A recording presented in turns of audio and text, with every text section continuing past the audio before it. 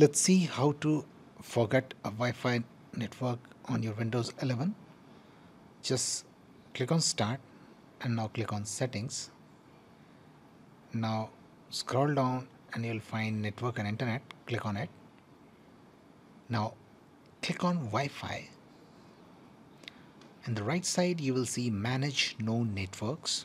Just click on it. And now whatever Wi-Fi network you want to forget just click on it and it will expand and two new options will be there. Just click on forget and you have just forgotten that particular network. Now whenever you will try to connect to that again you have to enter the password once again. Just click on it to expand and click on forget and that's how you forget a Wi-Fi network on Windows 11 PC. That's it guys. Please do like the video to support us.